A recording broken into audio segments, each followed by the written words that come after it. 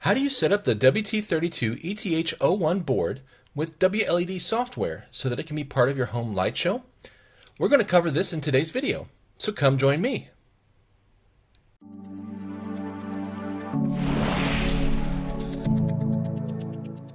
I have to begin with a story about these boards while I solder these pins. A lot of the Ethernet boards that are available are Power over the Ethernet, or PoE. This means that they don't need an external power supply hooked in through their pins, but they can power on through their Ethernet connection if your network supports PoE. Since my controllers would be encased with the same power supply that powered the lights, I could go with a cheaper option that didn't have PoE support. When I first purchased these boards on Amazon, they were advertised like this, with no pins. However, to my surprise, they came like this.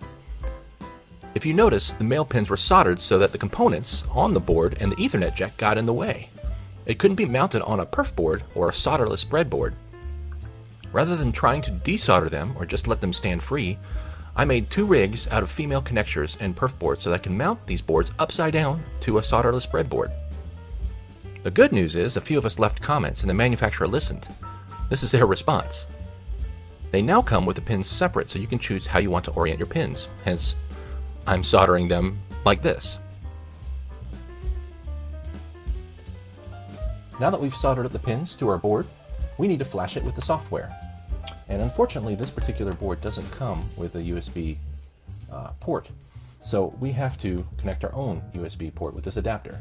Essentially, this adapter will allow us to program it with our computer and platform I.O. So we'll start off with how do I map the pins. So using jumper pins, I'll need to attach some of these pins on this side of the board, uh, this adapter to the board itself.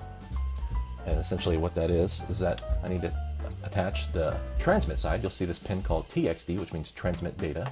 And that needs to be connected on to the RXD pin on the board, which is receive data. So if I'm transmitting and the board is receiving, then whenever I'm receiving, I need to connect my RXD pin up to my transmit board. So that way the board and the adapter are talking. Once that's done, I need to connect the ground to one of the ground pins. There's a couple ground pins you see here, but I like to attach it to this ground pin because uh, it's close to the 5 volt. This 5 volt pin will power our board. Lastly, uh, we need to put this in programming mode. Uh, by default, the board thinks that it needs to run the program, whatever is installed on it right now. However, this pin, the IO0 pin, if this is pulled to ground, that tells the board it's ready for programming. So I have a fifth wire here that connects the IO to ground. Now that we've identified which pins go to which, let's start off with downloading WLED.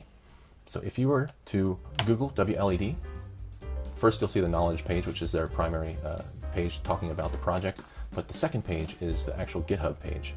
Here, uh, if you go and click on tags, if you go right to this button here and click on tags, you'll see all the different builds that are available. Highlight the, the build you want, and then go to code and download zip. And this will download a uh, zipped up folder with the actual source code to your drive.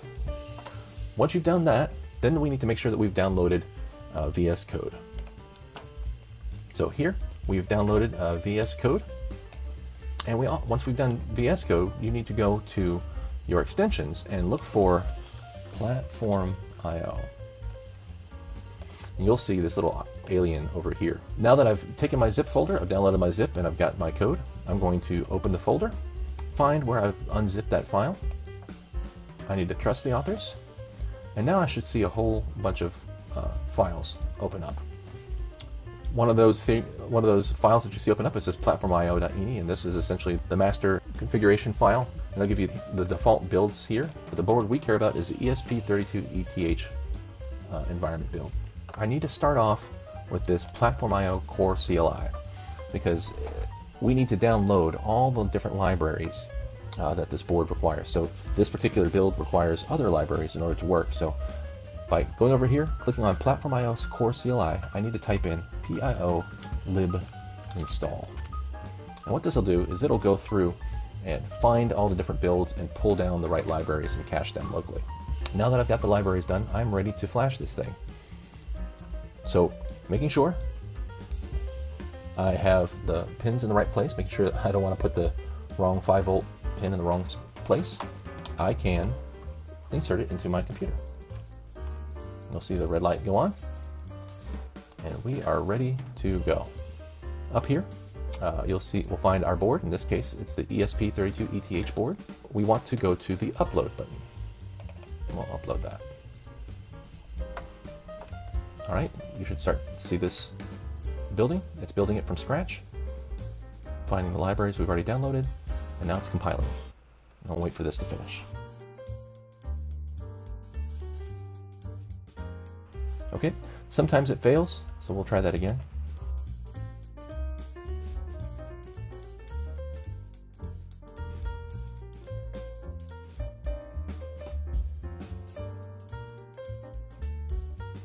Okay, now that's done compiling, we'll start to see it load.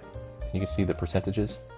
Now this is the more challenging way, and the reason why I like to do this is because I like to make sure that, you know, I, I had the source code of what I'm loading up. I don't want, I'm not comfortable with a pre-compiled binary because I never know what's on it, but you can take the easier route if you'd like and uh, download the binaries from the GitHub. They've already got the pre-compiled binary, so uh, you'll just need a, a, flashing tool instead of uh, VS Code to do it.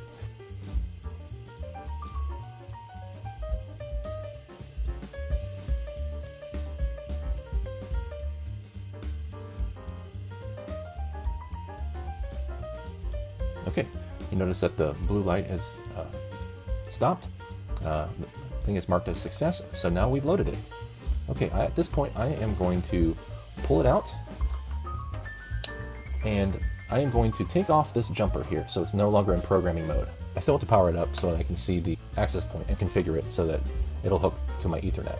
By default, it'll be a wireless hookup and we'll be able to pick up the wireless access point and program it.